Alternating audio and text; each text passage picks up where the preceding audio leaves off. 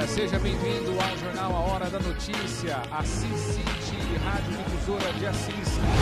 Informações, credibilidade, acorde bem informado. No ar, A Hora da Notícia. Olá, bom dia, mas bom dia mesmo. Seja muito bem-vindo a mais uma edição do Jornal A Hora da Notícia. Já estamos ao vivo. Hoje é dia 22 de fevereiro de 2022. 22 do 2 de 2022. Tudo é 22 para você hoje, mas hoje é terça-feira. Nós já estamos no ar pela Rádio Difusora de Assis, AM 1140. Também estamos ao vivo neste momento pelo streaming difusorassis.com.br. Estamos conectados, estamos juntos também, ligados no Assis City Play www.assiscityplay.com, no Facebook, no canal do YouTube. Compartilhe o nosso vídeo, aumente o volume do seu rádio, porque o jornal A Hora da Notícia já está no ar e você confere os destaques de hoje. Homem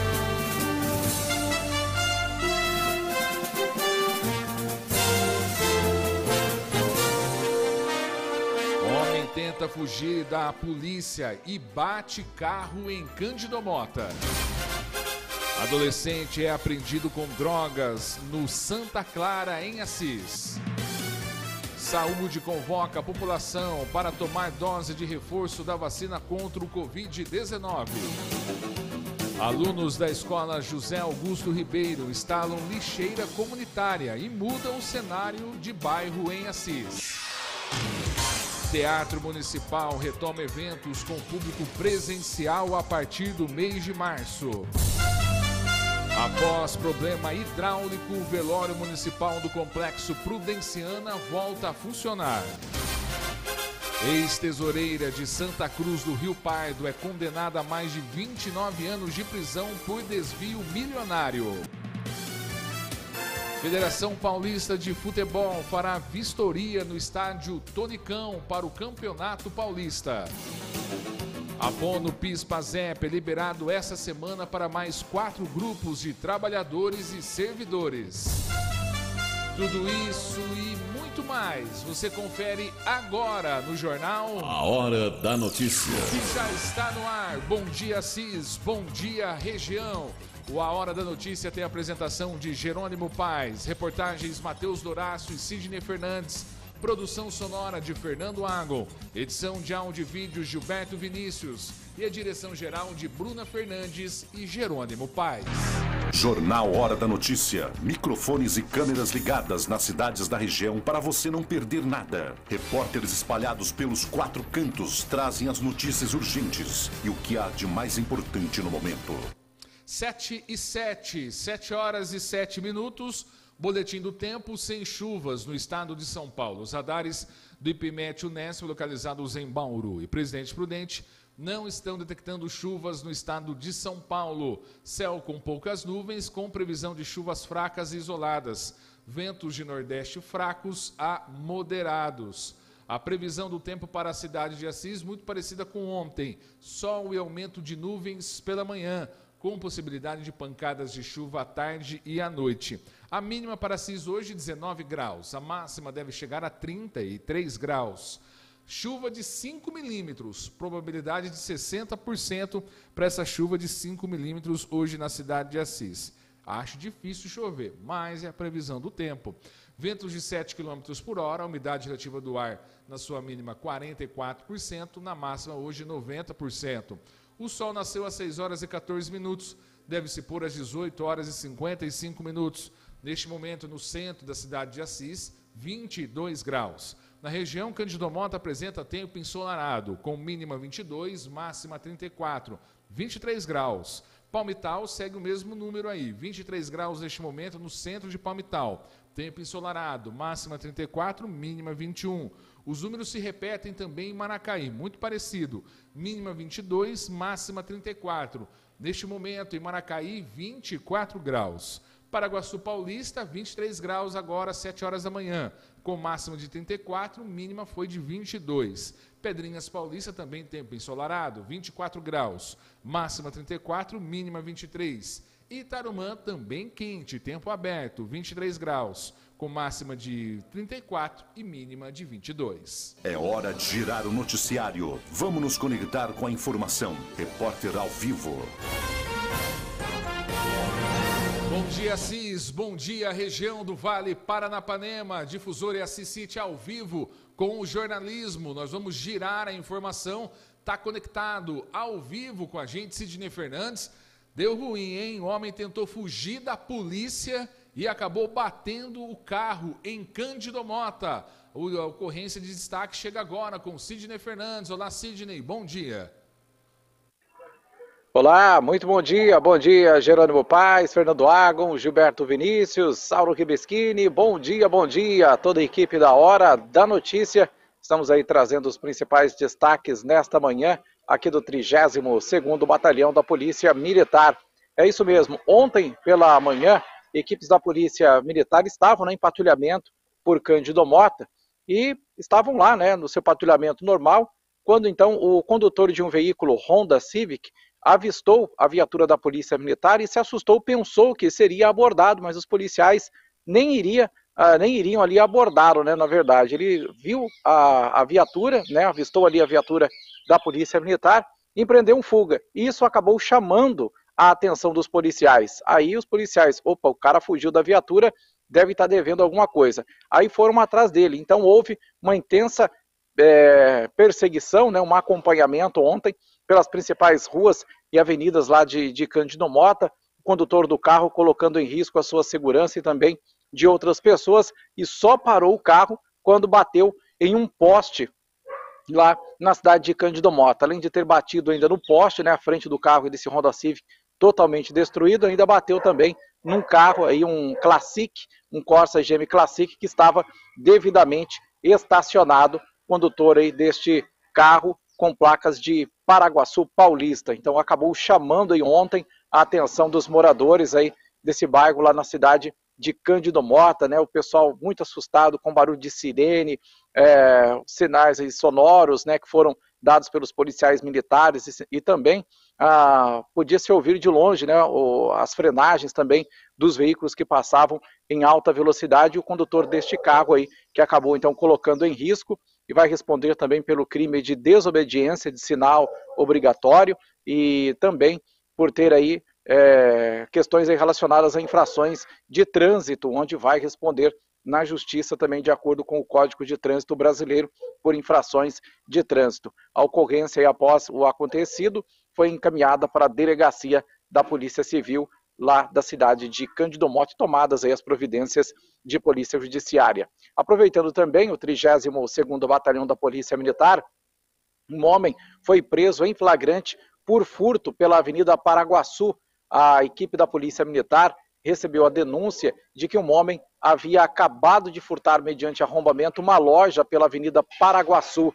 Ele teria furtado um aparelho de televisão e fugido em seguida. Os policiais então estavam em patrulhamento, encontraram uma pilha com pallets de madeira e lá acabaram localizando este homem que estava escondido. Inclusive, ele estava com as mesmas vestes utilizadas no momento do furto, que foi constatado através das imagens do circuito interno das câmeras de segurança ali daquele estabelecimento comercial.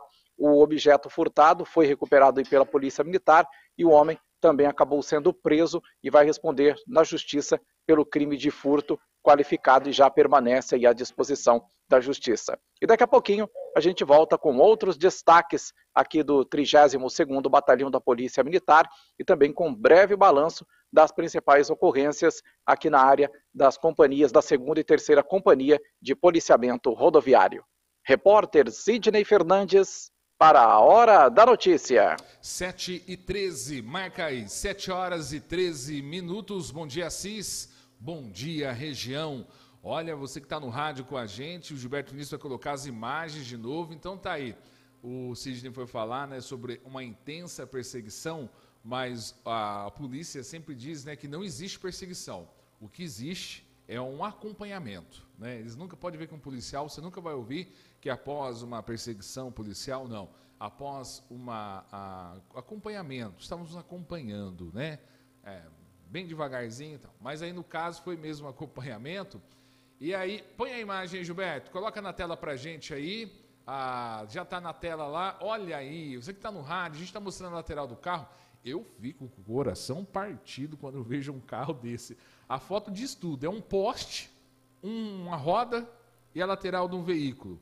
E tem a outra imagem que aparece a traseira de um veículo de Paraguaçu Paulista, um Corsa sedã, que não tem nada a ver com a história. Está para, como disse o Cid, devidamente estacionado e ainda sobra para o condutor que está parado. Então eu estou com você que está no rádio, na difusora AM 1140, no streaming nesse momento, a gente está mostrando para você no nosso telejornal, pelo Assis City Play, no Facebook e também no canal do YouTube, as imagens desse Honda ah, que bateu na traseira ah, desse Corsa Sedan e num poste, após ver a viatura da polícia e ficar apavorado, e diz o relato policial que nem iam abordar o Honda, o veículo.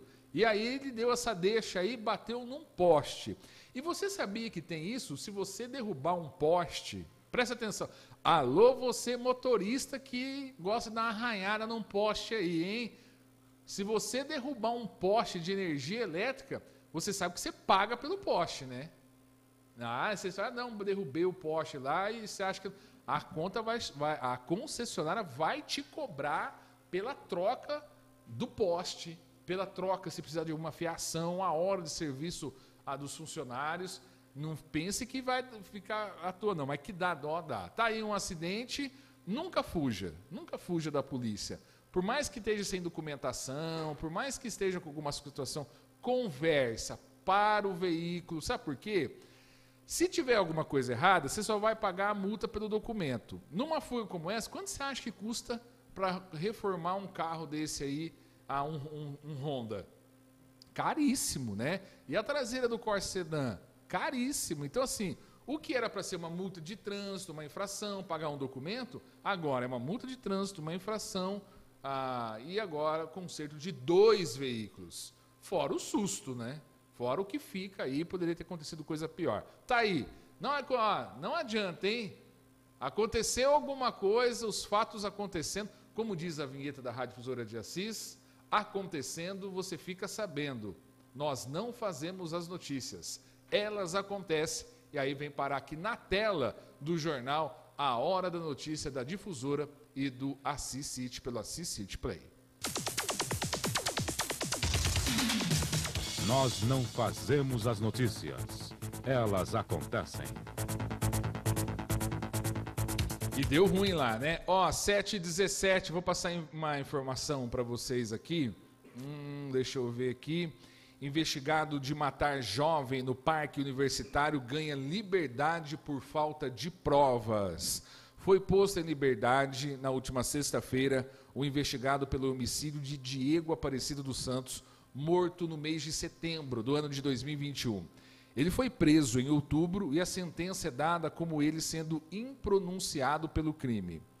A, a impronunciado da prática de homicídio é uma decisão dada pelo juiz por falta de materialidade do fato ou da existência de provas suficientes de autoria ou de participação para levar o acusado a julgamento, um julgamento perante o tribunal do júri, conforme o artigo 414 do Código de Processo Penal.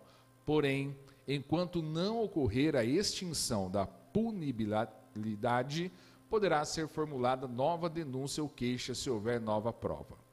Nós apresentamos em nossa defesa que havia insuficiência probatória da consecução do delito em desfavor do acusado, o nosso cliente, e o juiz decidiu pela impronúncia e expediu alvará de soltura, diz o advogado. A sentença foi preferida em 18 de fevereiro e o alvará de soltura expedido pelo cartório de Assis.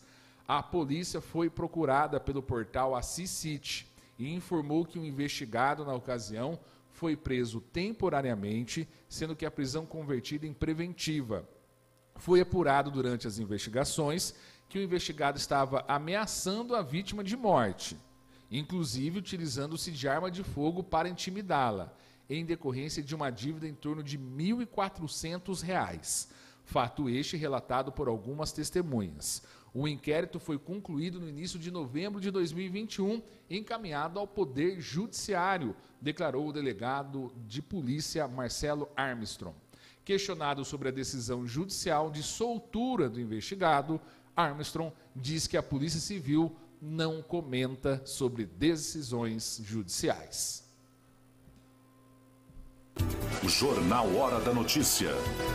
7 e 19, marca aí 7 horas e 19. Bom dia, Assis. Bom dia, região. Ó, Assis recebe 50 microchips e leitores ópticos para animais de pequeno porte. Segunda-feira, a Prefeitura Municipal de Assis recebeu a doação de 50 microchips e leitores ópticos para animais de pequeno porte. O vereador Tenente Gênova, em prol da causa animal. Os chips são dispositivos que armazenam sob a pele do animal todas as informações importantes, inclusive o contato dos tutores. De acordo com o vereador, além de ajudar os donos a localizarem seus animais, o chip ainda controla o índice de abandono.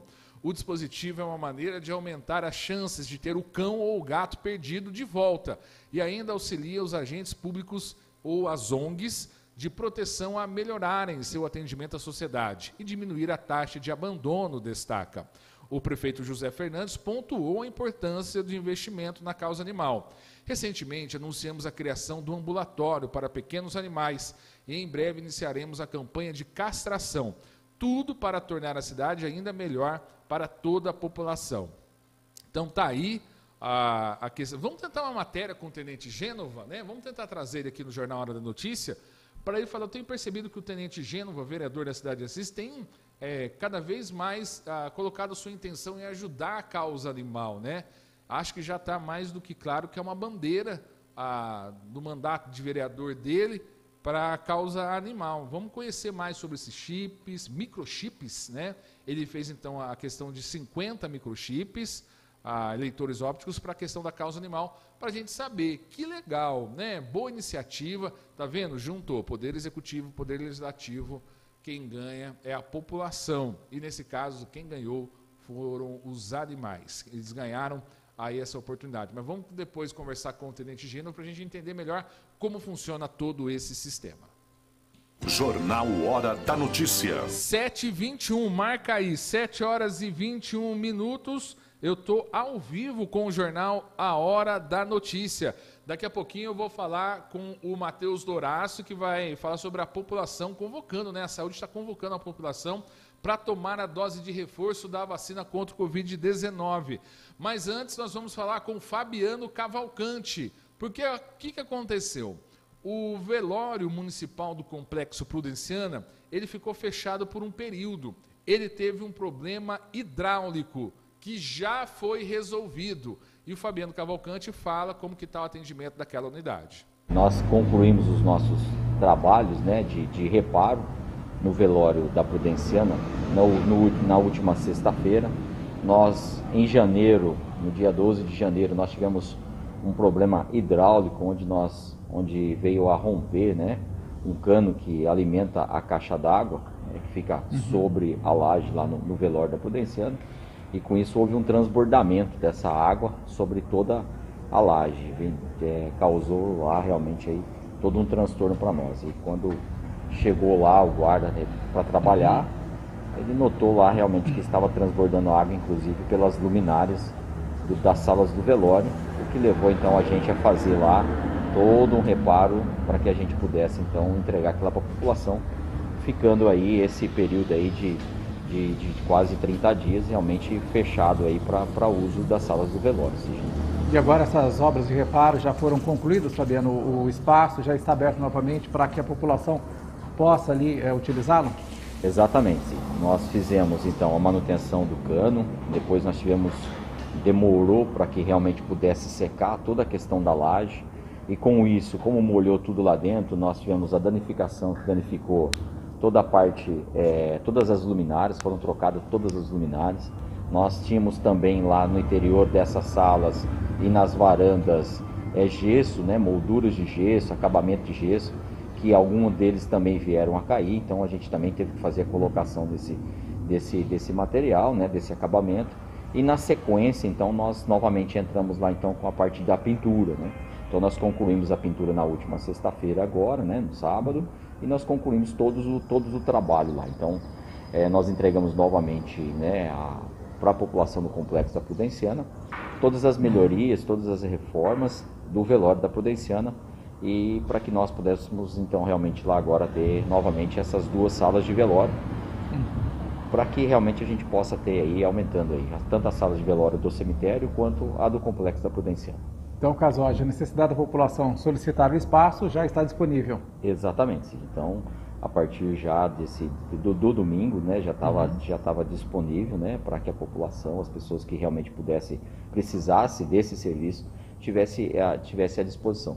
Vale destacar aqui também, sim, que o prefeito e o secretário de obras já colocou à disposição também, né, para que a gente pudéssemos agora concluir uhum. a segunda sala de velório que nós temos aqui no cemitério com isso, nós vamos ter aqui no cemitério, nas dependências do cemitério, duas salas de velório, que nós vamos estar concluindo agora, né? Até, até, o, até 15 de março, mais ou menos, nós estamos concluindo ela. E depois, e agora nós também temos mais duas salas de velório no complexo da Prudenciana. Então, realmente são essas melhorias aí né, que a prefeitura vem realizando, né? É sensível diante de todas essas necessidades que nós encontramos aí no dia a dia. Nosso muito obrigado. Conversamos aqui com o Fabiano Cavalcante, administrador do Cemitério Municipal de Assis. 7 horas e 25 minutos, 7 e 25. Bom dia, Assis. Bom dia, região. Obrigado você que está nos acompanhando ao vivo pela difusora Rádio M1140 e também pelo Assis City Play. Obrigado, viu, pelo carinho. Compartilhe o vídeo, manda sua mensagem, quero ler seu nome aqui, tá bom?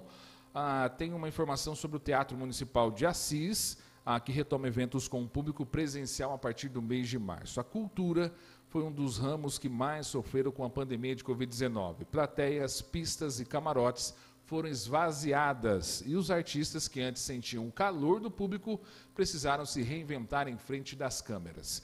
Com o avanço da vacinação no Brasil, que até a última atualização feita no sábado, dia 19 de fevereiro, apontava 72% da população brasileira já imunizada com as três doses. A vida em sociedade vai sendo retomada com cautela e também proteção. O Teatro Municipal de Assis ficou por mais de dois anos com as portas fechadas para eventos com o público. Mas a expectativa é que a partir do mês de março, espetáculos voltem a ser realizados conforme prevê o Plano São Paulo. A agenda já está sendo preenchida com shows e espetáculos de stand-up comedy com o Queen Experience in Concert e Bruna Luiz e embalos de sábado à noite. Bruna Luiz é bem conhecida, né? É uma do stand-up ela é bem conhecida. E uh, o pessoal do stand-up está em alta mesmo. O secretário Emerson Gonçalves explicou que tudo está sendo feito com cautela, pois a situação é incerta em relação aos casos de Covid-19. Nós estamos fazendo tudo com muita responsabilidade. O teatro é um local que conseguimos limitar o público, seja ele em 80% ou até 50%. Mas é importante deixar claro que tudo é feito respeitando as orientações do Plano São Paulo, destacou o secretário. Emerson destaca também que, mesmo com o retorno das atividades culturais no teatro, os protocolos de segurança sanitária seguem sendo respeitados. Do ao vivo, 7 horas 27 minutos. Marca aí, 7 horas e 27 minutos. Já vamos encerrar a primeira meia hora do jornal, a hora da notícia. Você está mandando mensagem para mim?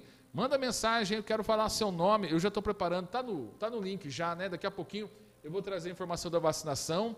Você que está no link comigo aí, ah, você que está no ao vivo comigo, manda sua mensagem, igual a Gi Barbosa, Jo Barbosa, ó, tem a Gi Barbosa, Jo Barbosa, ela falou que tá, manda um abraço para toda a equipe da Rádio Fusora, Francisco da Silva, Felizbino, Francisco Felizbino, obrigado. Jussiera Mâncio também com a gente, Nilza Santos Camargo, Edna Pavanelli, Silvia Jancarelli, Eliana Salgado, Leste Leste com a gente aqui, Bruna Bremer, Araújo também com a gente aqui ligadinha, Salete Oliveira, Maria Paião, Lourdes Alves Terra, Ana Maria Alves, Isabel Osório, Juliana Fagundes também ligadinha com a gente, Neide Moreira, Maria Aparecida Castanha Miranda, Nadir Cardoso também ligada, José Roberto Prado, Wilton César Tavares, todo mundo ligado aqui com a gente no jornal A Hora da Notícia. Vamos girar porque tá, chegou ao vivo. 7 horas e 29 minutos, marca aí 7 e 29. Vamos falar sobre a Secretaria Municipal da Saúde, que convoca a população para tomar a dose de reforço da vacina contra a Covid-19. Todos os detalhes com o repórter Assis City, Matheus Dorácio. Olá, Matheus, bom dia, seja muito bem-vindo. Oi, Jerônimo, bom dia a você, a todos ligados no Hora da Notícia. Pois é, olha, hoje nós estamos aqui mais uma vez para falar sobre o cronograma de vacinação. Para você que ainda não se vacinou, está com alguma dose atrasada da vacina contra a Covid-19, presta atenção para você se imunizar né, e ficar por dentro aí de todo esse cronograma. A Aline Biondo, que faz parte da coordenação da vacinação da Secretaria Municipal de Saúde, vai explicar um pouco para a gente para essa semana, Aline, como é que fica, onde eu posso tomar a vacina contra a Covid-19. Bom dia. Bom dia, Matheus. Bom dia, Jerônimo. Bom dia a todos do Hora da Notícia. É, hoje nós seguimos com os nossos pontos fixos nas unidades das 8 às 11, nas unidades do Vila Ribeiro, Vila Operária e Jardim Paraná. E à tarde nós também temos no período da 1h30 às 4 horas, na UBS Bonfim e na Estratégia de Saúde da Família Vila Cláudia e Rural. Lembrando que todos esses pontos fixos estão preparados para receber é, todas as pessoas com primeira, segunda e terceira dose, ou a dose de reforço. E as crianças também de seis anos mais. Lembrando também que desde ontem nós começamos a imunizar as crianças de 6 anos com a segunda dose que estiverem no período oportuno, que já se vacinaram com a vacina Coronavac. Muito importante os papais e os responsáveis, então, ficarem atentos, olharem a data para levar a criança para tomar vacina. Exatamente. E as crianças de 5 anos receberão a sua vacinação no ponto da Vila Operária, no período da manhã de hoje, e no período da tarde na UBS Bonfim e a Vila Cláudia Rural. Aline, tem muita gente fugindo aí da terceira dose? Olha, nós temos tido sim um aumento da procura da terceira dose. Todos aqueles que estão no período oportuno estamos recebendo.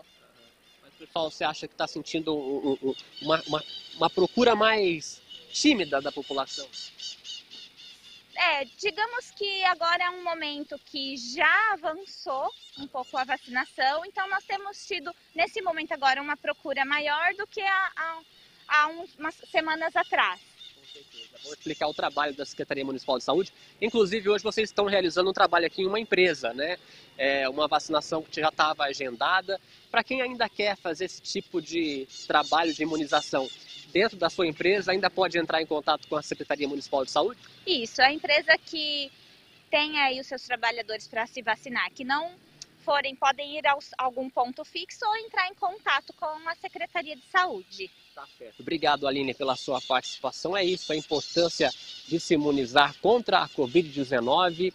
E nós estamos aqui toda semana né, para divulgar esse calendário juntamente com a Secretaria Municipal de Saúde. Lá no portal Assisite também você encontra um cronograma que é atualizado diariamente para informar essa, esse trabalho da Secretaria Municipal de Saúde sobre a vacinação aqui na cidade de Assis. Eu volto com você, Jerônimo.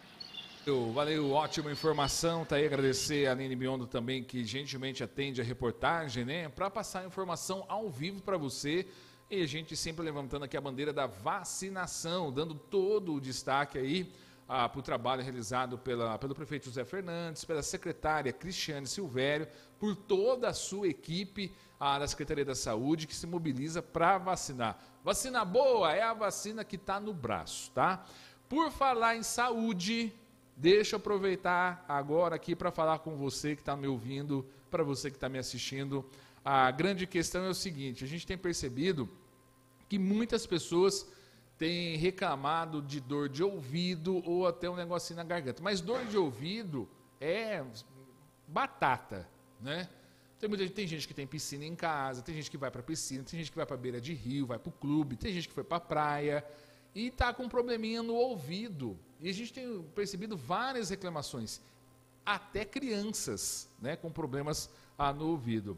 O Sidney Fernandes foi conversar com o médico otorrinolaringologista. Repita comigo, otorrinolaringologista.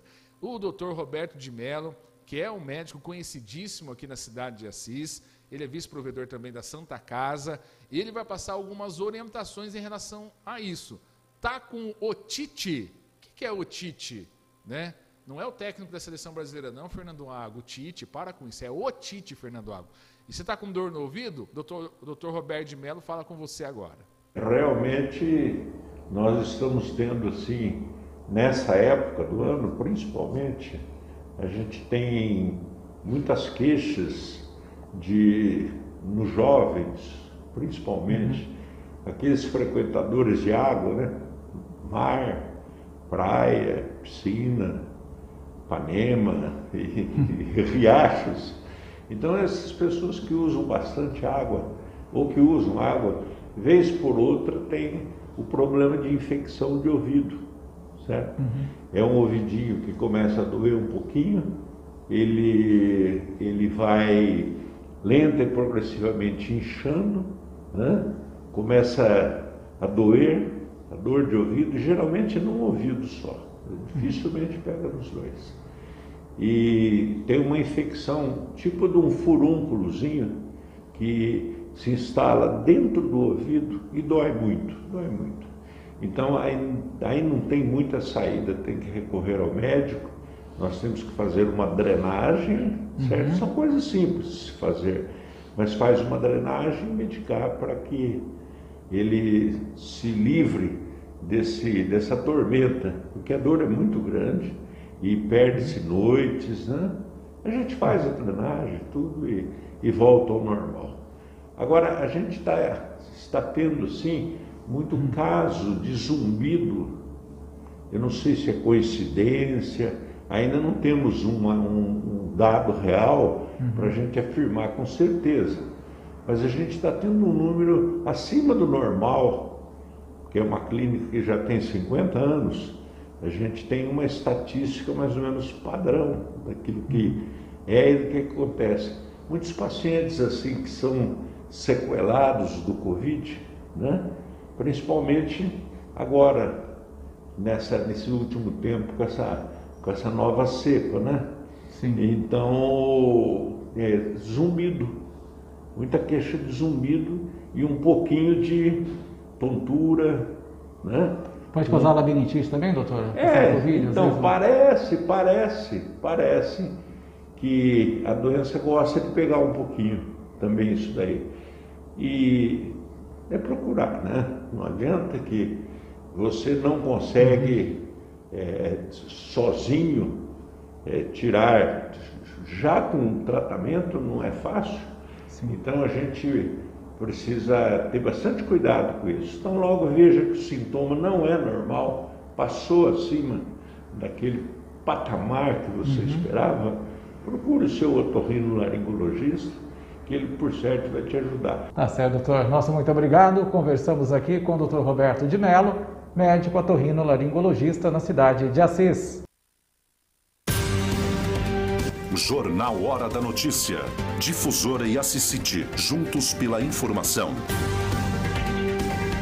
Grande abraço ao Dr. Roberto de Mello. Esse é gente boa demais. Esse é gente boa demais. Vamos girar 7h37, Sidney Fernandes chegando com informação. E quando o Sidney Fernandes chega, tem informação da polícia. Adolescente apreendido com drogas no Santa Clara, aqui na cidade de Assis. É isso, Sidney? Seja bem-vindo novamente. Olá, Jerônimo Paz, olá a todos. Estamos aqui de volta com um breve resumo também das ocorrências do 32º Batalhão da Polícia Militar, começando aqui pela apreensão de uma adolescente que foi detido aqui na cidade de Assis, mais precisamente no Jardim Santa Clara. Equipes da Polícia Militar realizavam um patrulhamento e localizaram o adolescente, sendo que nos fundos da residência onde ele foi encontrado, a equipe apreendeu ali porções de cocaína e também de microtubos utilizados para embalar a droga e também a cocaína embalada em saquinhos plásticos e um total de pouco mais de 100 reais em dinheiro. O adolescente foi conduzido aqui para o plantão policial e após encaminhado aí para a cadeia pública de Lutécia, onde permaneceu e permanece ainda à disposição da Justiça. Aproveitando aqui, fazendo um breve balanço também nas rodovias da nossa região, o Comando de Policiamento Rodoviário aqui informou que na região de Assis tivemos um plantão bem tranquilo. Na área de Presidente Prudente, que é a área da segunda companhia, lá em Rancharia, na rodovia Raposo Tavares, os policiais do TOR, Tático Ostensivo Rodoviário, realizavam uma operação em conjunto com a Polícia Federal para combater ilícitos penais.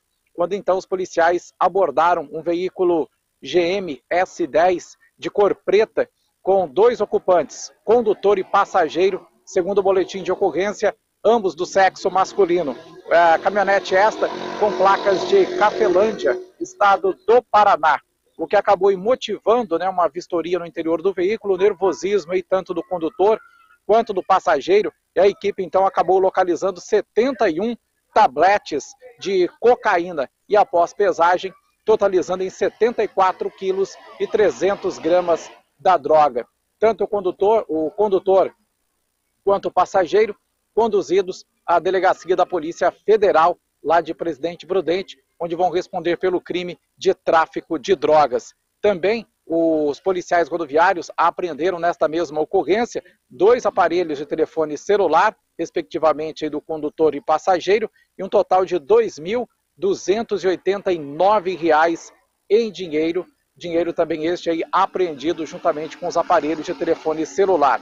Um outro destaque também do policiamento rodoviário é, quando eles abordaram um veículo Honda HRV na rodovia Raposo Tavares, lá em Presidente Epitácio, né, na divisa já com Mato Grosso do Sul, a informação é que esse veículo poderia ser roubado ou clonado até mesmo. Então os policiais abordaram este veículo e foi verificado através de várias consultas que o número do chassi estava raspado, adulterado.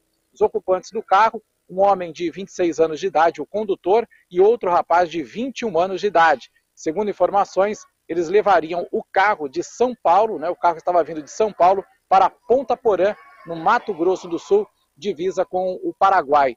Inclusive em grandes centros, ah, justamente isso, né, os carros são roubados, o número do chassi é, são adulterados, são raspados e esses veículos são vendidos bem abaixo, mais da metade no valor de mercado no país vizinho, aqui no, no Paraguai. Dificilmente a pessoa ia acaba encontrando né, novamente seu carro. Então, esse veículo aí com certeza é produto de furto ou roubo na capital paulista.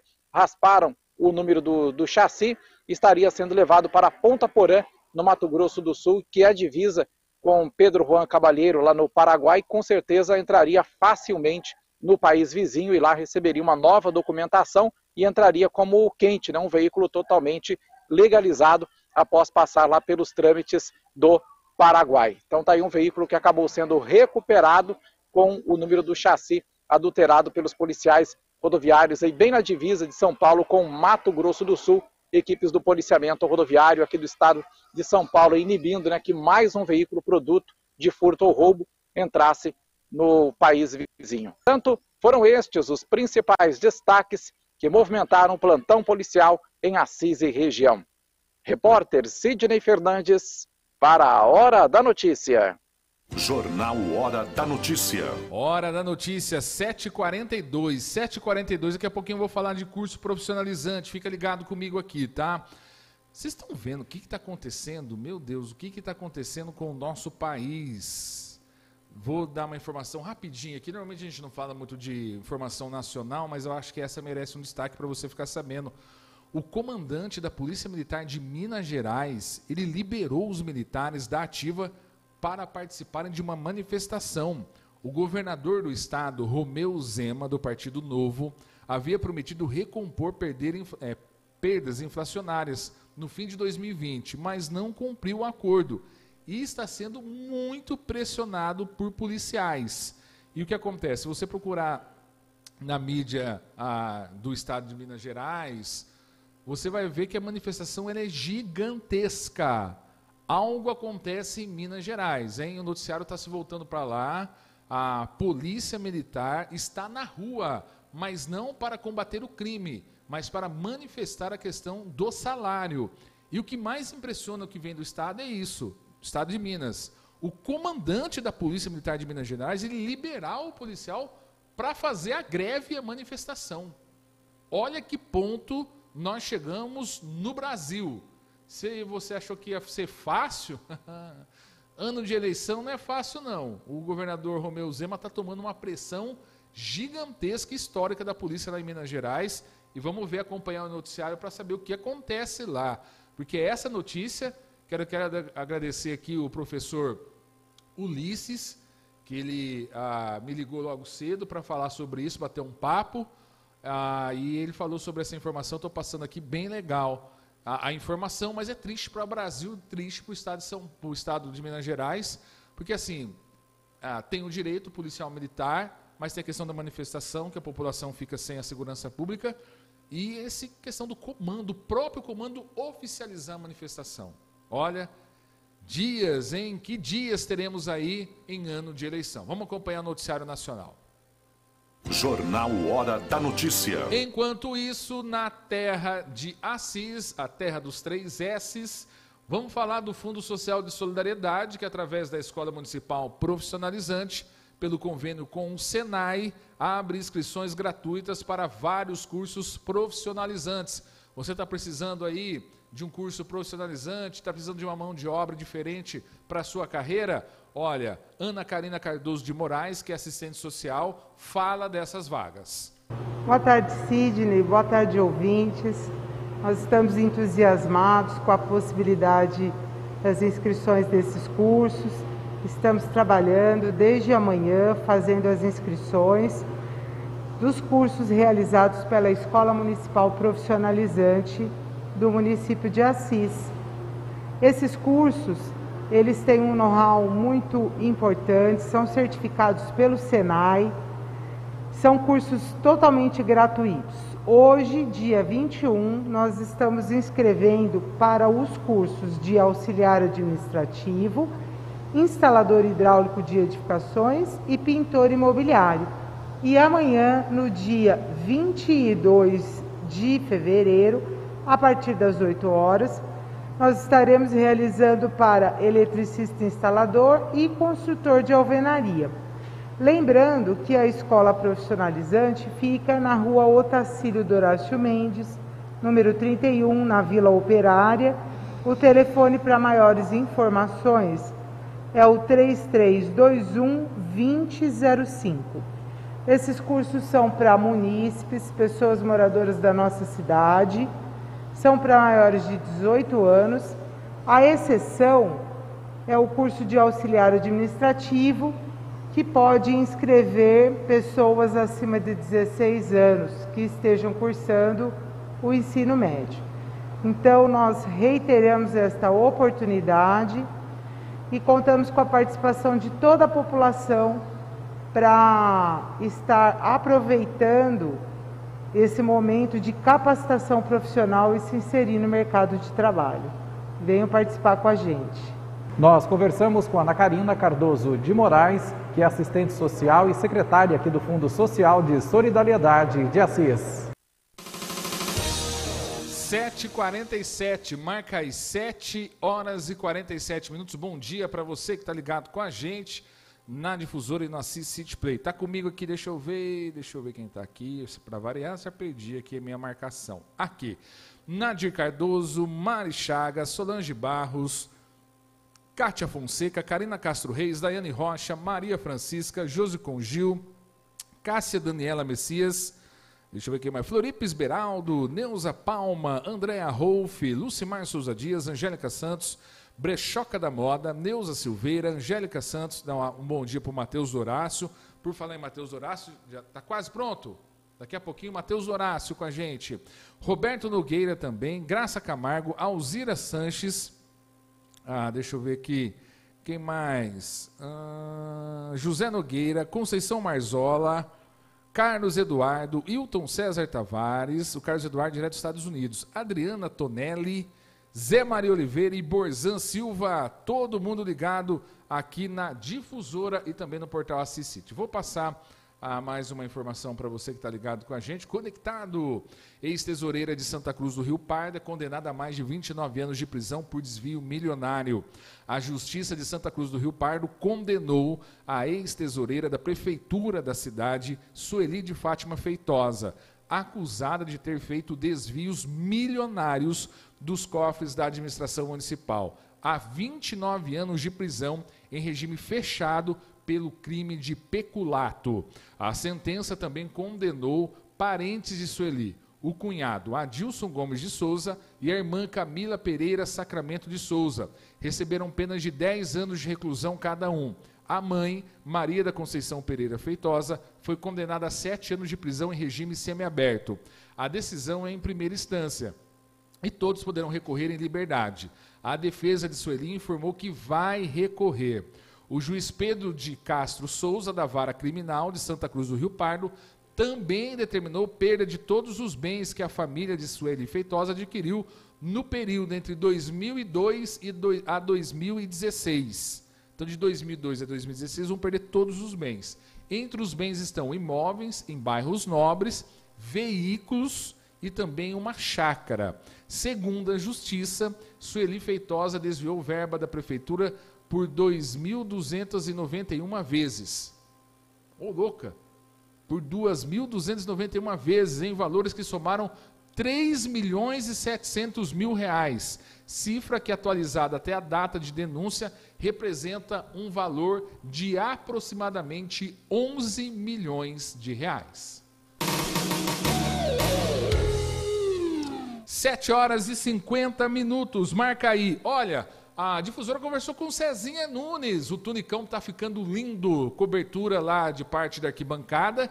E nessa semana, é, agentes da Federação Paulista de Futebol estarão no estádio Tunicão para fazer a vistoria, porque a temporada vai começar. Nós temos o Vosse Vila Operária Clube Esporte Mariano e o Atlético Assisense também, que disputam a última divisão do campeonato estadual. César Nunes, secretário municipal de esportes, fala no jornal A Hora da Notícia. Estamos aqui acompanhando, né, em loco a, a, o trabalho né, da, da, da, construtora em relação à, cobertura parcial aqui do estádio Tunicão, assim como também a melhoria é, no nosso gramado, no nosso estádio, que passará por vistoria nessa sexta-feira pela Federação Paulista de Futebol. A gente observa aí já né, o gramado recebendo água, é, estão aparando também o gramado, dando aí toda a assistência necessária, César. Sim, sim, até porque a federação, no seu protocolo de vistoria, ela exige que o gramado esteja podado na altura de jogo, demarcado, com o estádio todo limpo, para passar para a vistoria. E na questão da arquibancada, a gente acompanha diariamente o andamento dos trabalhos, porque é um anseio muito grande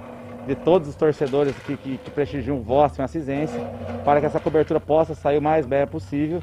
Sendo assim, a gente possa ter esse conforto a mais no estádio para os nossos torcedores. A gente observa aí um sistema de irrigação né, bem moderno que vocês implantaram aqui, né, César, para deixar o campo todo bem cuidado.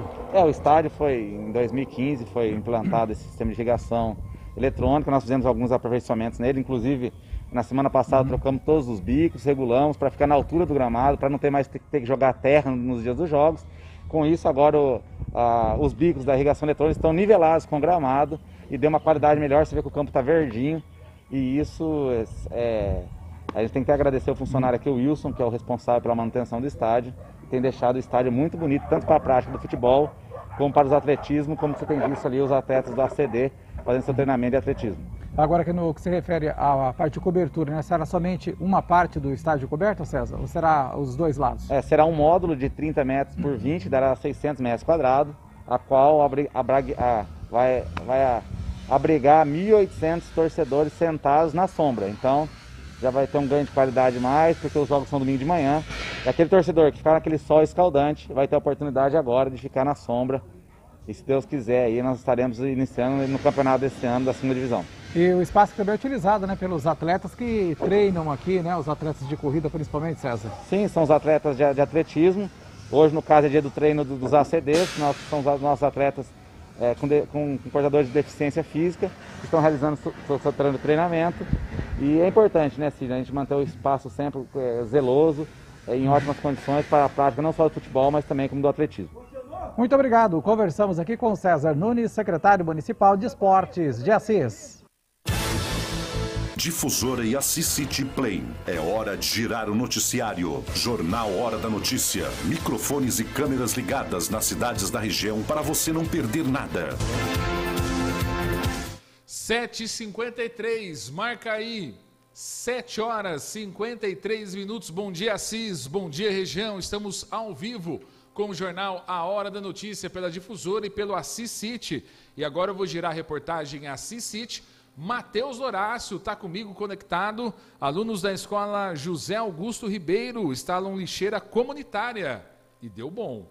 Matheus Horácio traz todos os detalhes. Olá, Matheus. Seja bem-vindo novamente. Obrigado, Jerônimo. Deu bom mesmo. Esse projeto aí deu o que falar, tá dando o que falar, na verdade, né? Aqui na escola José Augusto Ribeiro, um projeto muito interessante para o meio ambiente, que também está gerando reconhecimento fora de Assis, inclusive a diretoria de ensino, né? Participou de um evento em Ribeirão Preto e levou esse projeto como exemplo de boas ações realizadas aqui na escola, escola de período integral. Então, os alunos realizam diversos projetos por aqui e um deles nós vamos mostrar a imagem agora dessa lixeira comunitária, né? Tem também aí um antes e um depois de como era o local aqui em frente à escola, onde esses alunos se organizaram juntamente com os professores e diretora aqui também da escola, né, para estar tá realizando essa ação de limpeza, de cuidado, que também tem parceria aí com o meio ambiente aqui de Assis. A Juliana Mota vai explicar para a gente como teve essa iniciativa aqui dentro da escola, que é um projeto aí que mostra a cidadania dentro da escola, o coletivo, pensando no meio ambiente, no cuidado, no zelo, né, em zelar o espaço que os alunos estão presentes nos dias. Né? Muito bom dia, Juliana. Bom dia, bom dia, Matheus, bom dia a todos os telespectadores do Assis City. E nós estamos aqui hoje falando com vocês sobre um projeto que a gente pensou aqui na escola que deu muito certo. É, aqui na escola a gente trabalha com a formação de alunos protagonistas, autônomos, e a gente pensa sempre que não tem como ser um aluno protagonista se não cuidar do próprio meio, do próprio entorno. E aí, partindo de uma necessidade do bairro, onde tem, tinha muito lixo espalhado no entorno da escola, ainda tem alguns pontos, porque o projeto ainda está em andamento, nós entramos em contato com a Secretaria do Meio Ambiente e pedimos, solicitamos a instalação dessa lixeira. A princípio, a ideia não pareceu viável porque não existia quem cuidasse da lixeira, quem fizesse um trabalho de conscientização. E aí, então, junto com a sala do oitavo ano B, nas aulas de protagonismo juvenil, nós nos propusemos a cuidar desse espaço, a conscientizar a vizinhança. E o projeto aconteceu ano passado, a lixeira foi instalada e está dando super certo e os alunos são protagonistas, eles participam o tempo todo, cuidam, se preocupam, e o espaço realmente apresentou uma grande melhora, graças à ação desses alunos protagonistas. É melhorando o entorno que se aprende a ser uma pessoa melhor. E para quem está ouvindo na difusora, nós estamos mostrando imagens aí no portal Assisite, né, sobre a lixeira do antes e o depois. O pessoal costumava mesmo a, a, a relaxar, jogar lixo para fora, e vira aquela bagunça, aí vem cachorro, mistura aquela, vira aquele fuzuê todo. Né? Exatamente, Matheus. Os coletores fazem um trabalho perfeito, passam aqui todos os dias, mas o problema era esse. A gente tem um outro problema também, que até os alunos já estão pensando num projeto também, em relação aos animais abandonados. Que o lixo era colocado, mas a gente entende que tem gente que precisa pôr o lixo mais cedo, porque tem que sair para trabalhar, e aí o lixo ficava todo espalhado, porque os coletores fazem a função deles de pegar o lixo ensacado, mas não, de, não dá tempo de pegar o que está na rua espalhado. E aí esse problema tá, tá, tá bem menor, tem sido amenizado, e a gente está aí na expectativa de uma nova lixeira para instalar no, na parte de baixo da escola. Que legal. E esse trabalho foi reconhecido fora daqui também, lá em Ribeirão Preto? É Sim, a nossa escola participou de uma escolha na diretoria de ensino de Assis, e dentre as 42 escolas, de Assis e região, nosso projeto foi escolhido para representar a diretoria de Assis. Que legal, muito bom. Estou aqui com a Karen também. A Karen é aluna do nono ano, é isso? Nono ano, sim nono ano que participou desse projeto. Karen, fala para mim como é que foi, né, realizar esse trabalho e mostrar agora o diferencial para a população. É porque antes, né, quando a gente teve a ideia do projeto, a gente viu que em volta da escola estava muito sujo, tinha muito lixo espalhado. E a professora teve a proposta, com a nossa sala, de colocar as lixeiras, quatro lixeiras, um em cada esquina da escola. Aí a gente conseguiu uma, que é a que está ali, e a gente está cuidando agora das lixeiras, a gente está tentando colocar uma agora na esquina de baixo, porque ainda tem bastante lixo espalhado. E ficaram muito orgulhosos agora desse trabalho? Sim, porque agora o povo está cuidando e está mantendo limpo. Tá Muito obrigado, então, pelas informações de vocês. Ó, outros alunos que estão ali no fundo também representam aí essa turma, né, que está fazendo a diferença. Se cada um fizer um pouquinho, né, Jerônimo, muda muito, principalmente aí é, em colaboração ao meio ambiente. Eu volto com você. Belo exemplo. Acho que o Matheus encerra a matéria assim com um belo exemplo. Cada um fazer um pouquinho, mas o que está sendo feito lá né, na escola José Augusto Ribeiro, que coisa linda, que maravilha. A gente tem que ter isso como exemplo mesmo. E a gente da difusora do Assis, a gente quer mostrar isso. Tanta coisa boa acontecendo na cidade de Assis. E a gente quer dar luz mesmo a esse tipo a, de trabalho. Parabéns lá ao pessoal, os alunos da Escola José Augusto Ribeiro, à direção, aos professores, todo mundo que se mobiliza para tentar fazer algo. Esse tipo de matéria demonstra muito, né? Para você que está nos ouvindo, para você que está nos assistindo, que a gente tem que confiar sim nessa juventude vem diferente, uma geração ah, mais conectada, uma geração aí mais antenada e preocupada com o meio ambiente. Ótima matéria, bem legal mesmo. Ah, parabéns aos alunos da Escola José Augusto Ribeiro. Se você tiver algum trabalho nesse sentido aí na sua escola, entre em contato com a gente para a gente divulgar. Tem que mostrar coisa boa, tem muita coisa boa acontecendo. Vamos girar! Você está ouvindo Jornal Hora da Notícia. Girou 8 horas da manhã, agradecendo a sua audiência, como também a sua paciência. Encerramos aqui mais uma edição do jornal A Hora da Notícia. Nós ficamos por uma hora juntos no rádio AM 1140, difusora de Assis. Ficamos por mais de uma hora juntos no streaming difusorassis.com.br, conectados por mais de uma hora juntos no Facebook, no canal do YouTube, pelo Assis City Play. Obrigado, viu, pelo carinho. Quem mandou a mensagem, quem está no rádio ligado, quem está comentando, compartilhando, só tenho a agradecer em nome de toda a equipe da Difusora e do Assis City de jornalismo, a, que a gente está todo de segunda a sexta, toda manhã aqui, das 7 às 8 horas, para passar sempre a melhor informação para você. Tá certo? Dividida a rede, você que segue o trecho agora aqui na difusora, tá ele aqui na minha frente, Fernando Agon, ele chega com o programa da família brasileira. Tem Zacarias hoje? O Zacarias aposentou? Foi embora, viajou Zacarias? Ih, rapaz, será que tem Zacarias hoje? Não sei, não. Vamos ver. Ao meio-dia eu sei que tem rotativa sonora com a apresentação de Regiane Santos.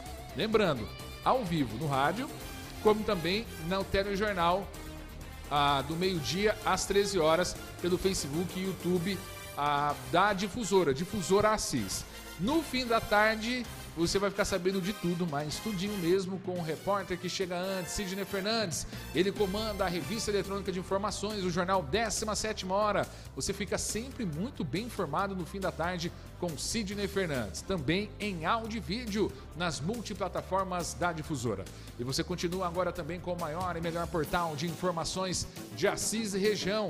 Eu tô falando do Assis City. Olha, ninguém ganha no clique do Assis City, que tem a plataforma Assis City Play. Muito conteúdo em vídeo para você.